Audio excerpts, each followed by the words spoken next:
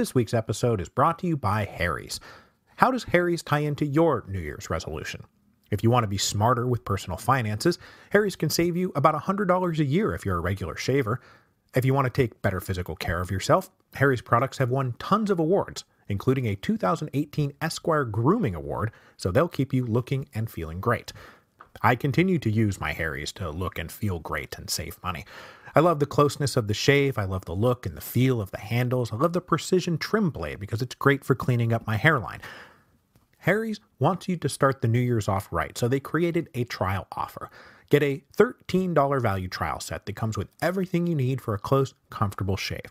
A weighted ergonomic handle, five blade razor with a lubricating strip and trimmer blade, rich lathering shave gel, and a travel blade cover.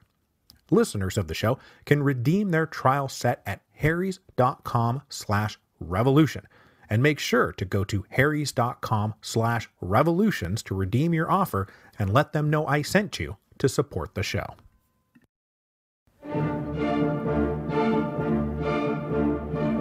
Hello, and welcome to Revolutions.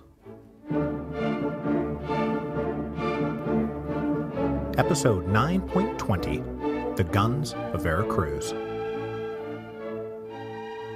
When the Aguascalientes Convention met in October 1914, its goals were to lay the groundwork for Mexico's political, economic, and social future, but most especially it was to prevent a civil war between Pancho Villa and Venustiano Carranza. This is when they were meant to beat their swords into plowshares. But instead of coming together, they fractured apart, kicking off the bloodiest and most violent phase of the Mexican Revolution a fratricidal civil war between dueling revolutionary factions. In the grand tradition of fratricidal civil wars between dueling revolutionary factions, now being called the Constitutionalists on the one hand, those are the guys who stuck with Carranza, and the Conventionists on the other, those are the guys who went with Villa and Zapata, the two sides actually proclaimed many of the same principles and goals. And yet, there they were about to blast the hell out of each other with murderous venom. The question is, why. A great deal of ink has been spilled trying to explain the split between the Constitutionalists and the Conventionists. The old class theory is that the lines ran between the middle class bourgeoisie, who went for Carranza, and the peasants and cowboys and ruffians who went for Villa and Zapata. But that theory has broken down in the face of plenty of evidence that both sides had their fair share of peasants and cowboys and urban middle classes. A lot of the original Maderistas, for example, including Francisco Madero's brother Raul, were staunch Villistas because they believed that Carranza was a dictator in the making. Politically, you could say that it was a fight between centralists and federalists, that Carranza believed strong central leadership was the only thing that could secure the revolution, while Villa and Zapata believed it could only be secured by ditching strong central leadership and its dictatorial tendencies. Except that as much as this is obvious in retrospect, it was hardly a major issue in the propaganda war, and Villa certainly had no coherently expressed ideology to speak of. Economically, you could point to a conflict between capitalists and socialists, except that everyone now espoused worker rights and land for peasants. Carranza, as we're about to see, won the near universal support of the organized urban working classes. But both sides also courted had backers inside the business community. So then one is tempted to say, well, maybe Villa and Zapata were running a popular progressive movement and Carranza was a conservative. Except that the Carrancistas tended to be far more aggressively reformist and modernist and anti clerical. Meanwhile, the Zapatistas were positively atavistic in their goals. They did not want to move forward, they wanted to go backward. And Carranza's propaganda did a pretty good job of painting Villa as the dumb tool of a looming counter revolution. It wasn't true, but a lot of people thought that it was. So, not unlike attempting to explain the murderously bitter divide between the Mountain and the Girondin in the French Revolution, no one theory or explanation really holds up under scrutiny. So, a lot of this comes down to personal rivalry, geographic origin, and just old loyalties. The Sonorans stuck with Carranza. The guys from Chihuahua stuck with Villa. Morelos and the South were religiously loyal to Zapata. And around them, people tended to follow the alliances and chains of command from the fighting over the previous year. And outside of these dedicated revolutionary partisans, most of Mexico was ready to go with just whoever won. Now, there were three big reasons why it would be the Constitutionalists who ultimately won. First was the nature of their organizational structure. Remember, Carranza had built his organization from the top down. He was the governor who had gone into revolt, and everybody else worked for him. Thus, the constitutionalists tended to operate in a more classic pyramid command structure, with superiors giving orders and subordinates following them, and it was all far more centralized and unified. Villa, on the other hand, had built his army from the ground up. The Division del Norte had begun as an alliance of separate chiefs, with Villa merely elected to lead them in battle.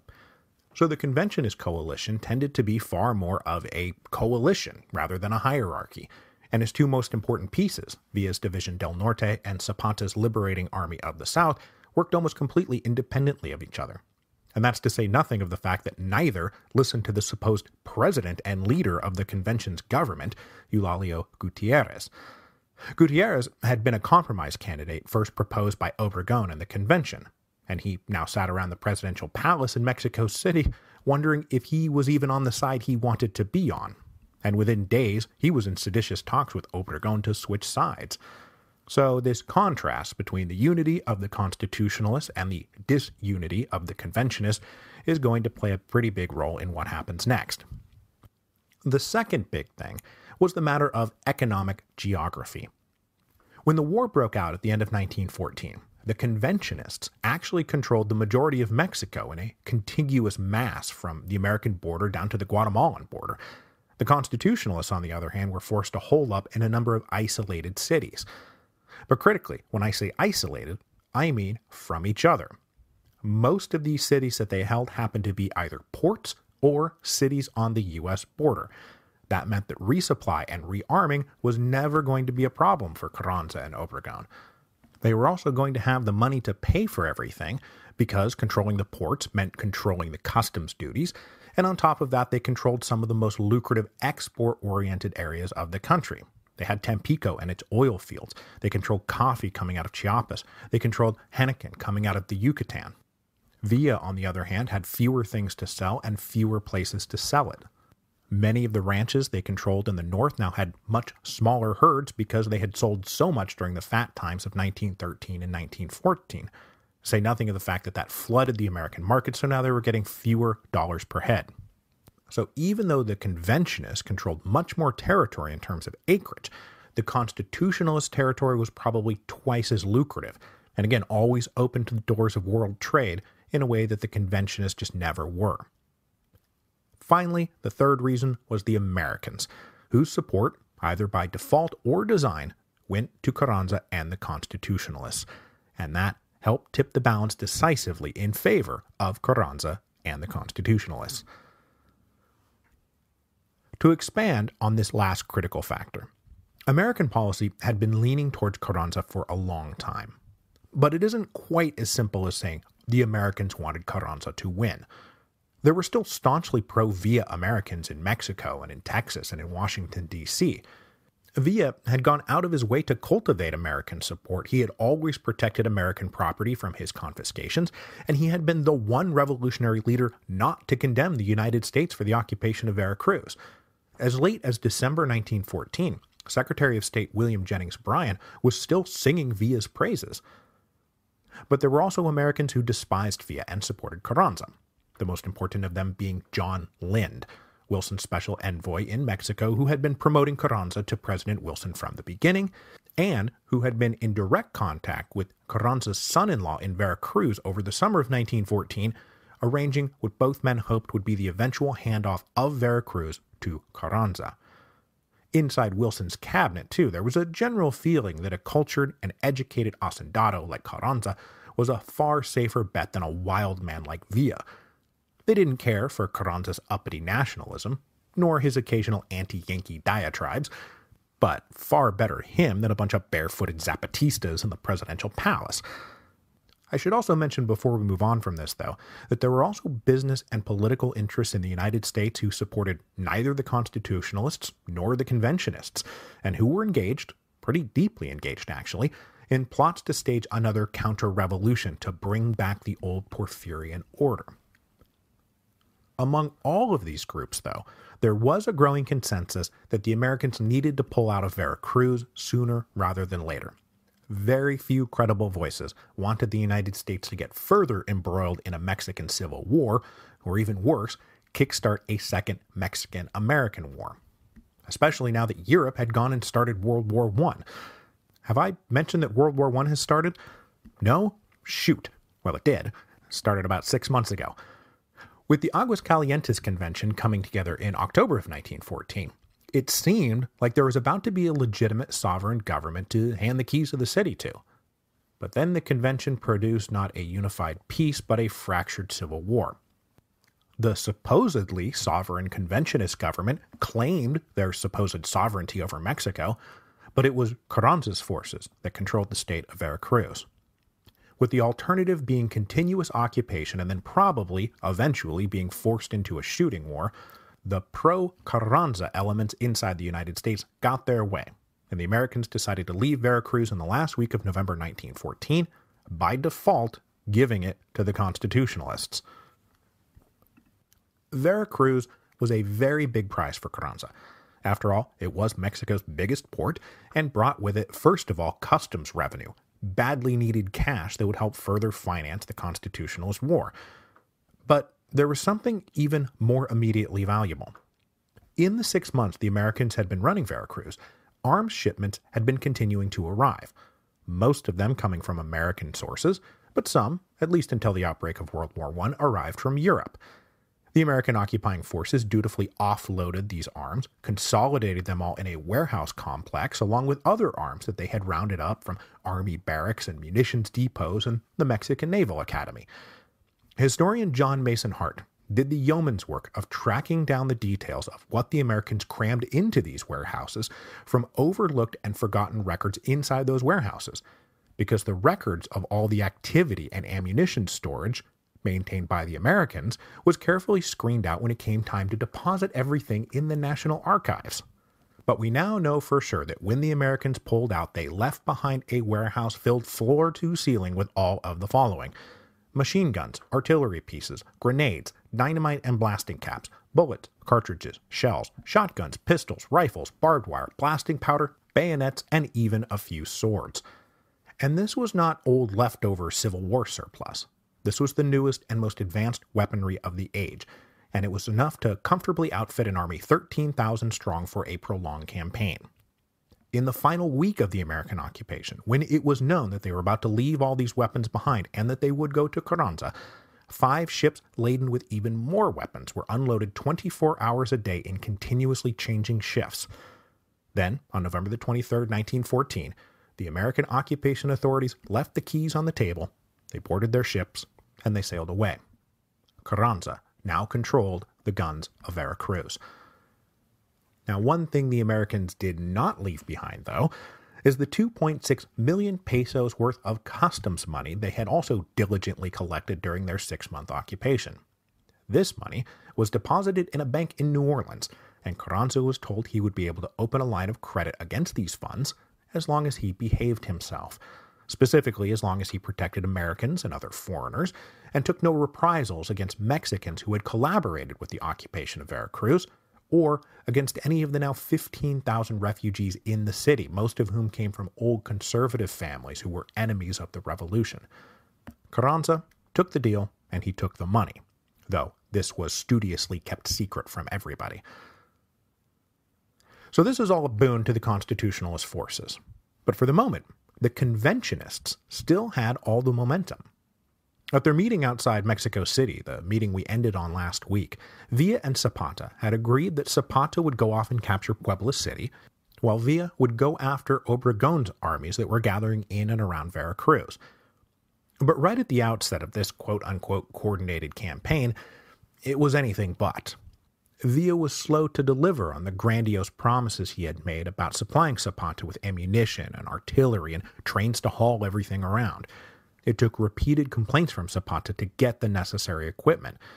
But then, when the artillery finally showed up, the small constitutionalist garrison evacuated Puebla City and Zapata entered without firing a shot. But never liking to be far from home, Zapata almost immediately went back to Morelos and just kind of chilled out. His lack of interest in anything outside his home state was almost pathological. But in his defense, the fall of Huerta had brought peace to Morelos for the first time in nearly five years. Everyone was exhausted. They believed they had now won, and they wanted to get on with the business of actually doing what they had been fighting so hard to do, and that was carry out revolutionary land reform. But as I said just a minute ago, though Zapata was the most consistently focused on the matter of land redistribution, he could no longer claim that mantle all to himself. The convention had, after all, ratified the principles of the Plan of Ayala, and now even Carranza, who hated the idea, had concluded that he would lose the support of both the people and his generals if he did not embrace some kind of land reform. So on January the 6th, 1915, Carranza announced his own national plan for land redistribution. The plan said that professional survey teams would go out, analyze the titles of haciendas, and, where appropriate, peel off, divide up, and dole out small parcels of land to the landless.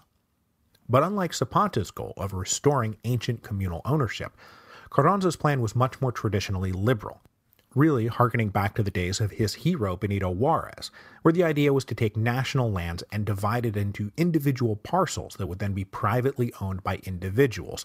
There was not going to be the possibility of communal land under Carranza. But parcel distribution would be open to all comers, so Carranza was now able to say that, of course, he too was a revolutionary reformer fighting for land and justice. At this same moment, Carranza was also able to secure another claim to being the true popular revolutionary when he decisively won the support of urban labor. Now, I haven't talked much about urban labor because there weren't that many urban workers in Mexico. The country was overwhelmingly rural and agrarian, with miners making up the bulk of the quote unquote industrial working classes. But there were urban industrial workers, and a union had been founded in 1912 called the Casa del Obrero Mundial, or the House of the World Worker. Known shorthand as the CASA or the COM, they had done a pretty good job organizing urban labor. The urban workers did not share much in common with the landless peasants in terms of their needs or their worldview or their goals, and indeed, many workers feared the invading hordes of peasant revolutionaries as much as the rich boys on the rich side of town. The union leadership of these workers also tended to be more modern and socialist and anti clerical, further pitting them against the traditionally religious peasants. So, to secure the support to the 50,000 or so members of the Casa, Carranza offered them a bunch of concessions and even encouraged them to strike for better pay and more rights. In exchange, the Casa promised to raise men to fight under Carranza's banner, and 6,000 men quickly signed up for service, forming the so called Red Battalions that were about to go out and add some much needed manpower for the war against Pancho Villa. And it would be Pancho Villa they would be fighting. Everyone else, including Zapata, was of secondary importance, General Obregon knew that the key to victory would be defeating the undefeated Division del Norte. Which, luckily for Obregon, we are now arriving at the tragic part of the legend of Pancho Villa, when that which had made him great is now going to destroy him. The reckless elan, the macho self confidence, the stubborn bravado, all of it was about to blow up in his face. By January of 1915, Villa had come to buy his own hype, and basically was now infected with a fatal case of hubris. Where he formerly took the advice of professional soldiers, most especially Felipe Angeles, he now listened only to himself. Villa had once trusted Angeles' judgment so much that he let Angeles drop the battle plan for their great victory at Zacatecas. But now Villa ignored Angeles, who was telling him that though it looked like the Constitutionalists were the ones backed into a corner, in the long run, their position was actually quite strong.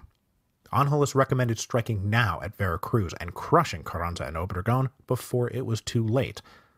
But Villa dismissed Obregon as a real threat. He called Obregon the perfumed one, and instead decided to divert his attention to constitutionalist armies operating around Guadalajara in the west and Monterrey in the east. This change of focus was Villa's first great mistake. Obregon, scrambling to reorganize his forces and utilize all the guns he had just gotten from the Americans, was bracing for an attack any day now. He was shocked and thrilled when he was told Villa wasn't coming. It gave Obregon precious time to prepare and plan. Now, Villa was not merely being dumb and pig headed here, though he was being kind of dumb and pig headed. Enemy forces in Guadalajara threatened to block his access back to his home base in the north, which he simply could not tolerate. And as for Monterrey, well, controlling Monterrey meant controlling the coal fields of northeastern Mexico. And remember, it was lack of access to coal that had been the thing that had ground Villa's last campaign to a halt. Plus, from Monterrey, the next step would be Tampico and its oil fields. So while Angeles was right to suggest plunging the knife into the heart of Carranza right now, Villa wasn't necessarily wrong about what he thought he was trying to do. The real out and out self destructive wrongness of Villa doesn't come until a bit later. So Villa divided his army in two. He took half to Guadalajara and entrusted Angeles to go capture Monterrey. And as much as he opposed the idea, Angeles followed orders. He deftly executed a campaign through Saltillo that saw him standing victoriously in Monterrey just a few weeks later. Villa, meanwhile, had easily taken back Guadalajara and then joined Angeles in Monterrey. So far, everything is still well in hand. Also, now well in hand were compromising letters from Provisional President Eulalio Gutierrez to the Constitutionalists offering to defect. Villa blew up when he saw these letters that had just been accidentally left behind, and he ordered Gutierrez executed for treason. Down in Mexico City, Gutierrez was tipped off and he skipped town. And when he skipped town, he was joined in his defection by a few other high ranking officers and about 10,000 men who had been stationed in Mexico City with them. This led obviously to a shakeup in the conventionist government, since the president just defected to the other side, and they had to hastily replace him with a 29 year old staunch supporter of Villa named Roque Gonzalez Garza. But with their forces now dispersed across Mexico and the troops that were supposed to be garrisoning the capital now gone, Mexico City was defenseless. The conventionist government abandoned the city for the relative safety of Cuernavaca, and on January the 28th, Obregon re entered the capital, capturing it for the second time. Obregon had no intention of sitting around Mexico City, though. This was not a war that was going to be defined by who controlled the national capital. It was going to be defined by a showdown between Villa and Obregon somewhere out there in Mexico. Obregon now had a firm plan of how to defeat Villa. As I've said, he was a self taught general. Obregon not only read military history and manuals, but he also talked to foreign officers about recent innovations in strategy and tactics. And boy, were there ever a lot of recent innovations in strategy and tactics, because now Obregon had the opening campaigns of World War I to study. And what Obregon learned from six months of World War I battles was how much the nature of war had changed. The era where land wars could be won by courage and cavalry charges, basically the core of Pancho Villa's success, was now over a new era had arrived, a cold and industrial era defined by trenches, barbed wire, and machine guns. Obregon had also studied his enemy, both from afar and close up, and he was convinced that he could lure Villa into a trap. So he pitched Carranza on a plan to march north and goad Villa into a fight. Carranza was not thrilled about the idea. The principal flaw being that Obregon was proposing to take 12 to 15,000 men up north into enemy territory and their supply lines back to Veracruz would be badly strained. If they were cut off, Obregon would be surrounded in enemy territory, he would run out of ammunition, and he would get slaughtered. Obregon was aware of this risk, but assured Carranza that he could provoke Villa into a decisive battle and destroy him before that became a problem. The one big fear that Obregon had was what if Angeles sees through this trap and convinces Villa not to take the bait? On March the 10th, 1915, Obregon led his army out of Mexico City north towards the Bajío, loaded to the gills with the guns of Veracruz. The conventionist government came down and retook the capital, but again, Mexico City was of little strategic value to anyone. Villa was still riding high when Obregon set out to meet him. His forces in the northeast were in control of the coal field and were now threatening Tampico. Now, annoyingly, after Villa had departed Guadalajara, a constitutionalist army had moved back into the city.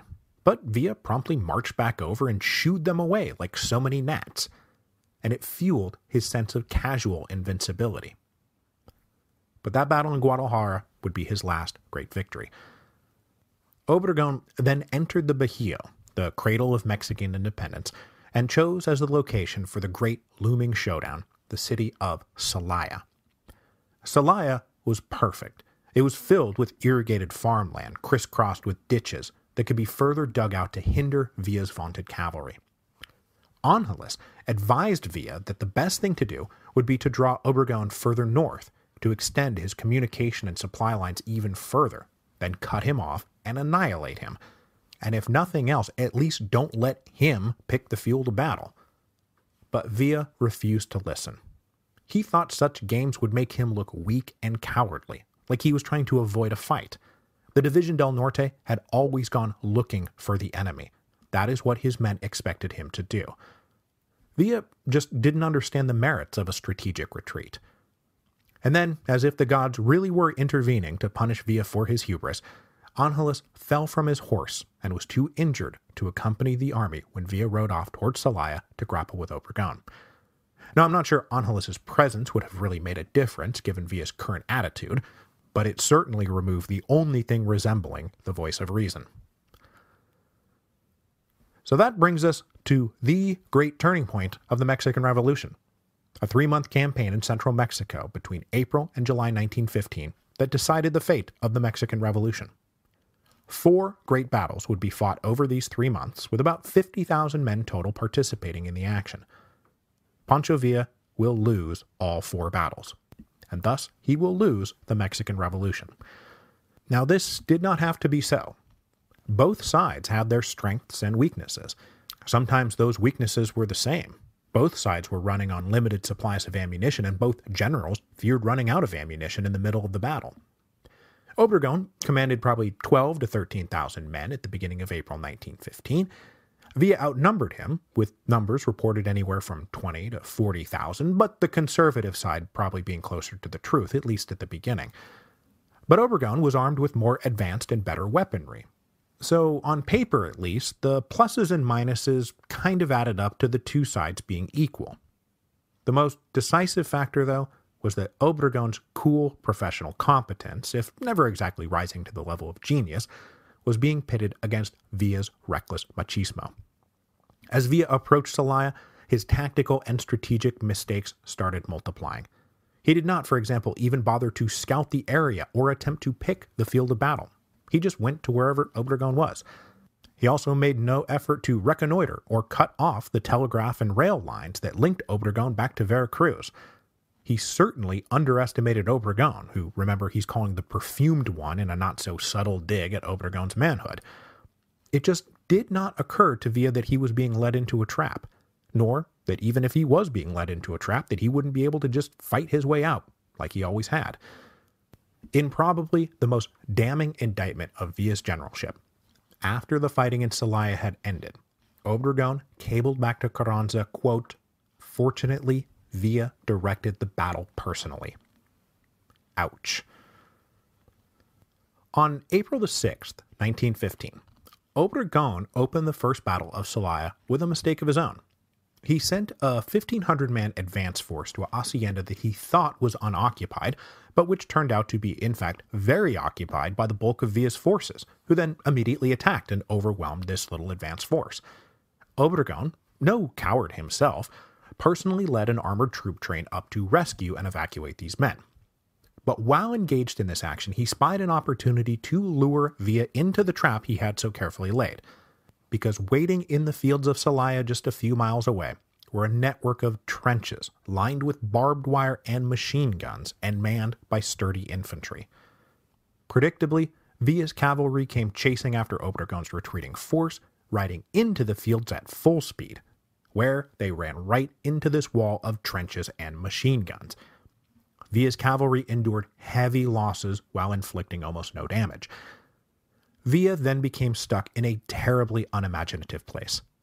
Cavalry charges had won nearly every battle Villa had ever fought, and so he just needed to keep at it, and eventually the cavalry would break through just like it always had.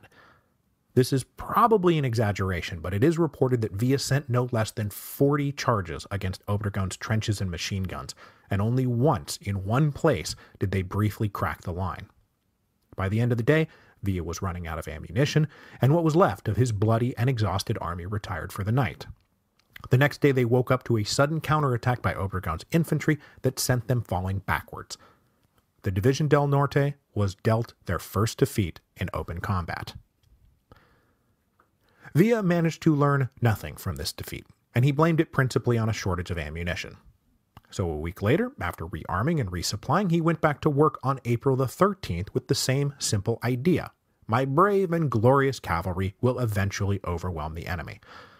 But in that week, Obregon had only dug in deeper and had concentrated even more machine guns. Further, Obregon held back 6,000 cavalry of his own in a forest out of sight that Villa did not even know about.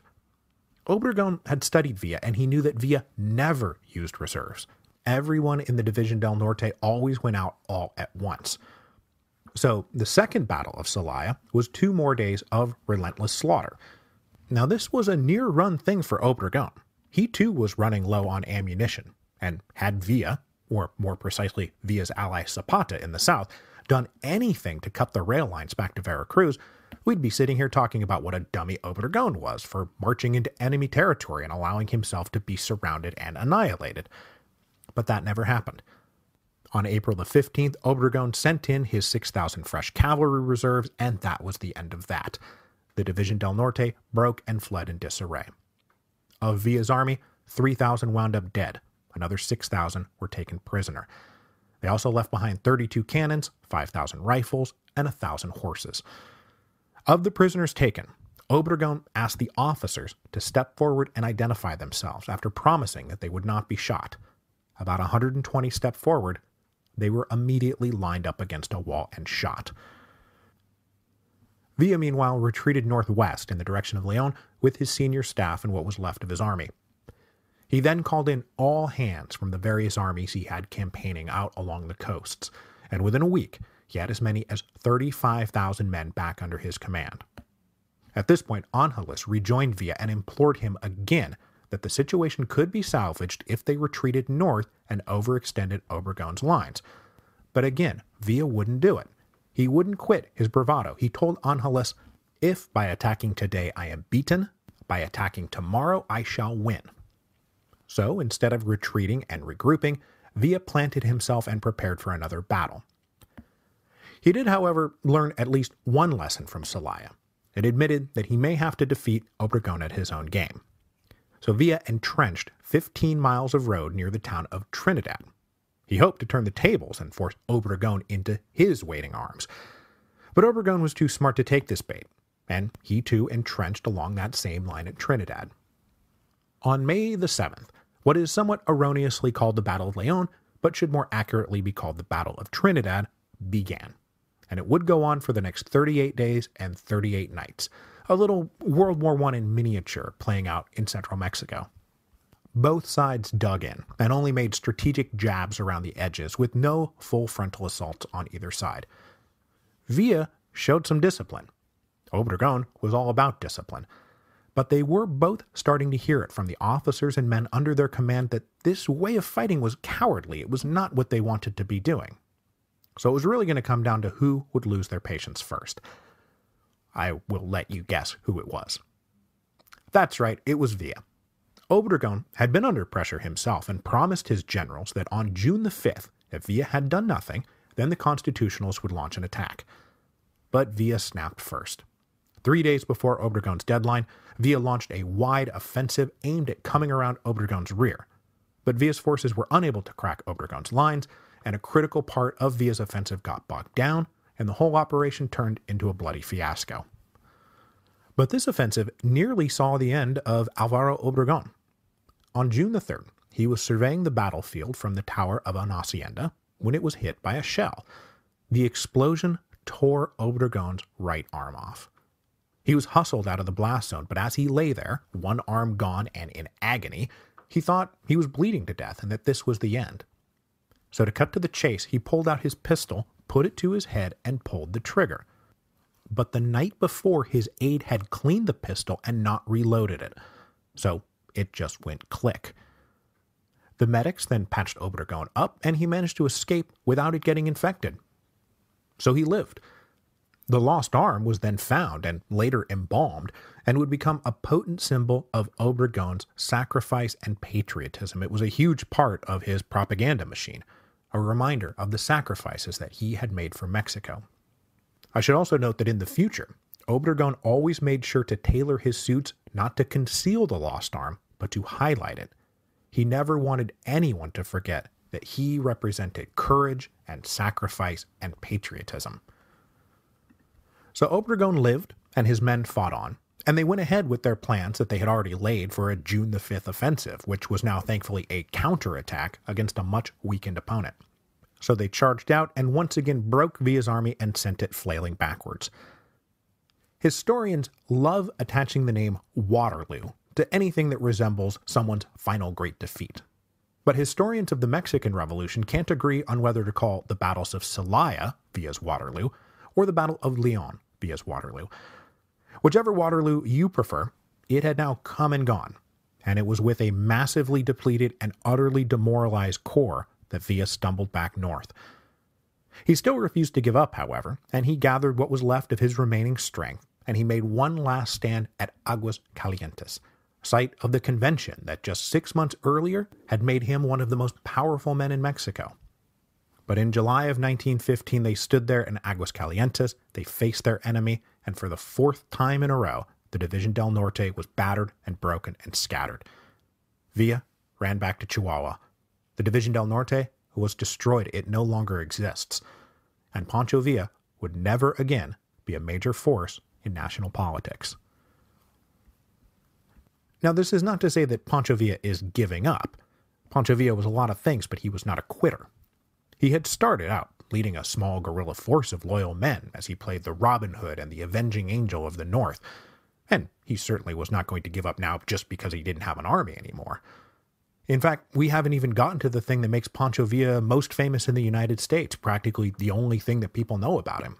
That in March of 1916 he invaded the United States, which led to the second invasion of Mexico by the United States, as General Pershing is going to spend a year leading around a U.S. Army trying to hunt Villa down.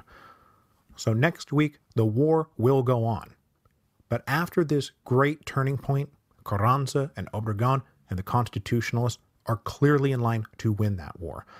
Of course, laying the groundwork for the next fratricidal civil war of the Mexican Revolution.